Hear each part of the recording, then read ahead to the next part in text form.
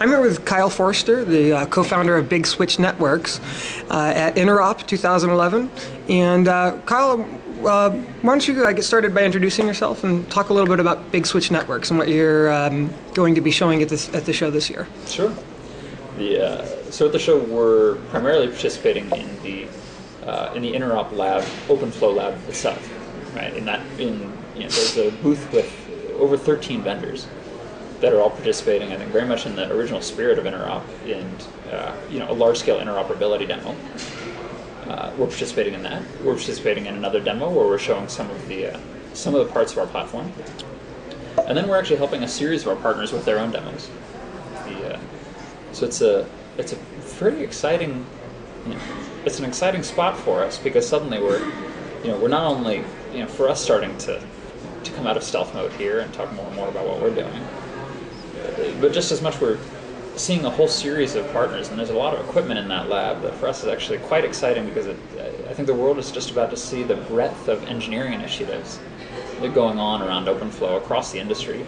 Um, the, uh, there's far more engineering being done here than press releases. So you can see it all together in the in the racks in this uh, in Interop lab. It's neat to see. Yeah, and I think it's an exciting time, and you know, from my perspective, one of the big things that's changed right now um, there's been initiatives to try and open uh, the, the world of networking to, to more um, competitive model to an application development ecosystem and so on. And a lot of the initiatives in the past have failed. And what I, I kind of think is, is part of the reason why OpenFlow is being so successful now is that we're reaching a time where the application developers and the, the, the cloud providers are starting to realize that, hey, now our applications really need to be able to talk to the network and interact more with the network and mobility inside of the cloud. We see it with Hadoop and, and the, the cloud controllers and things of that nature and and so I think um, it's no longer Cisco making these decisions. We have uh, application developers and the rest of the ecosystem really taking a lot more active role. Do you see that as as um, being a big piece? Yeah, I think they're. You're right. You're trying to, to evolve the networking industry from the mainframe type of model to something that looks more like the service model. This is not a new concept. This has been tried before. But there are two things that are different. Let me actually say three things that are different. Um, the first is the maturity in the set of technologies. In networking, the, the rise of broadly available networking silicon. Um, third-party available silicon is a fundamentally kind of changes the industry landscape in one direction. Uh, the emergence of OpenFlow as a technology standard changes the, changes a bit. So there's kind of a series of technology trends here that I think are very interesting. Uh, there are a series of large-scale market landscape trends, right, as a number of vendors try to figure out how to compete against Cisco's entry into the server market. The, the landscape there is changing and changing on us very fast. So that creates you know, an industry dynamic that we've never seen before. But I think that you hit on what I think is the really most important piece, and that's that these things are happening in an area where requirements for a network are actually changing. The, you know, certainly in the data center side, you know, we see you know the emergence of factory architectures to support Hadoop. We see the emergence of virtual machines and VM mobility and the rapid roll on, roll off of VMs. This, you know, a server no longer being tied to a switch port fundamentally breaks some very deep mental models around networking. Mm-hmm. And this is changing the requirements for what a network has to do. You know, even on the campus LAN side, we actually see, you know, one of our, one of the beta customers that we're working with, um, the exact same size networking team, today has double the number of devices that they had on their network compared to three years ago. And the vast majority of those have non-traditional operating systems. You know, these are not only these sort of uh, mobile phones and iPads, but these is, you know these devices include HVAC equipment, PCI compliant, you know, credit card swipers, mm-hmm. security cameras.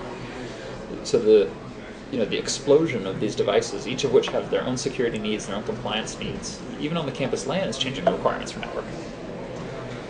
So, you know, these three things, different technologies being available, these long-term technology trends, uh, uh, you know, a huge amount of chaos in the industry landscape among the very, very large IT vendors.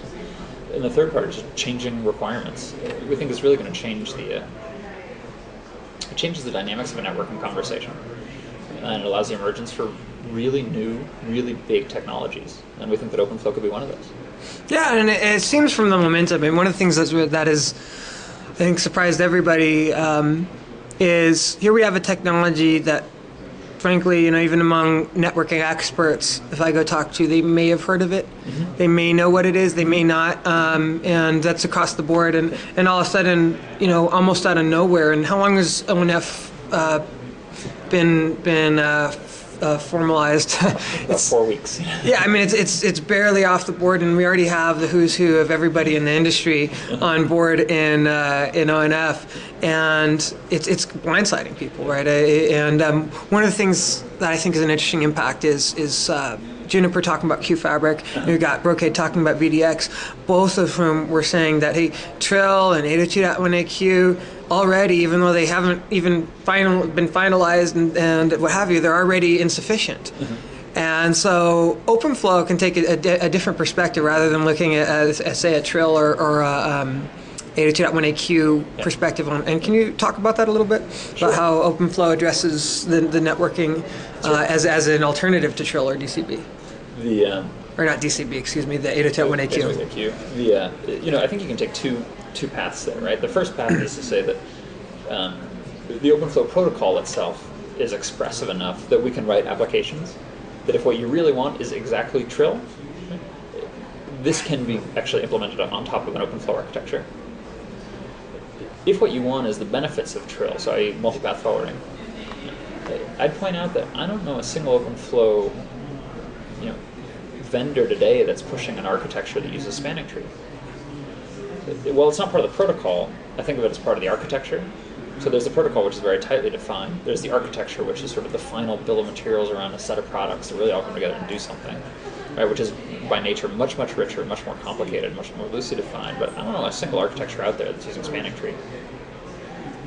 So even just out of the gates with these architectures, we're actually quite a bit farther ahead uh, in addressing some of the kind of the data center multipath concerns that something like Trill or AQ would, go after. Um, just by virtue of the technical architecture makes this a much easier problem to solve with centralized control plane. And as a result, it's become the state of the art quite quickly. And if somebody does an OpenFlow architecture that involves spanning tree, my guess is that's it's not going to be competitive. So I have a, um, a, a question for your thoughts. Uh, we talked a little bit about virtualization, and um, there's this this idea of, of um, how we've traditionally applied network policy. So as the access layers eroded and turned into the VMware switch, I found that most enterprises aren't even applying network policy anymore. And the, the traditional models of doing so are just not feasible in, in a dynamic uh, environment. So I can't when I'm getting a new application, I can't go read, turn to page 3000 of the manual, figure out what ports it's going to be using, find out the IP addresses. Mm-hmm. Those are all dynamic. It's too, way too much work up front. Mm-hmm. And on top of it, I can't write quality ser- uh, service or, security based on an access lists based on IP addresses as, as in a dynamic environment. It doesn't scale as we look towards the future. How do you see uh, OpenFlow being able to address that type of challenge? So it's a it's a great point because I think of some of the really some of the data center customers that I'm, I'm talking to today, enterprise data centers, and we see. you know, If I just look at meetings from the last six weeks, you know, I see folks in two directions. Right, there's one direction that says I want. You know, I've always had a highly locked down data center. I have a lot of security needs. I have a lot of compliance needs. Um, so I need you know ACLs all the way to the edge server. And, you know, this is this is how I'm going to run and that worked up until last year when we started rolling out VMware. It's Yeah. usually where that con- conversation ends. Uh, I had a great conversation with a with a group that said, "Look, every time we roll out a new server, I lose a member of the networking team for two two days. Right, just updating, basically updating VLANs and network. You know, we used to roll out a new, a new server every eight to ten weeks, so it wasn't that big of a deal. You know, painful, but we could manage it." Thanks to server virtualization, we actually roll out a new VM every two weeks. And so every two weeks, I'm losing somebody for two days. That's a completely unacceptable drag. So, you know, there are folks that kind of sit in this